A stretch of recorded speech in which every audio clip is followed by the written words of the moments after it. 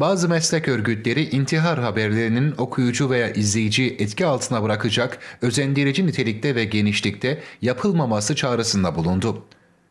Gazeteciler Birliği, Tabipler Odası ve Bağımsız Psikologlar İnisiyatifinden temsilciler, intihar haberlerinin medyada yer alış şekli ve bu konuda neler yapılabileceği gündemiyle dün gece birliğin lokalinde toplantı gerçekleştirdi. Gazeteciler Birliği'nden verilen bilgiye göre görüşmede intihar haberlerinde gazetecilik meslek ilkeleri ve Dünya Sağlık Örgütü'nün kurallarına dikkat edilmesi gerektiğinin altı çizildi.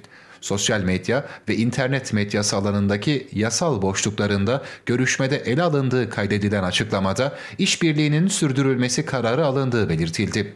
Açıklamaya göre toplantıda intihar olayları hakkında haber çerçevesini aşan ve okuyucu veya izleyici etki altında bırakacak özendirici nitelikte ve genişlikte yayın yapılmamalıdır. Olayın ayrıntılarından ve uygulanan yöntemin tarifinden kaçınılmalı, olayı gösteren fotoğraf, resim veya film yayınlanmamalıdır şeklindeki gazetecilik meslek ilkelerine dikkat çekildi.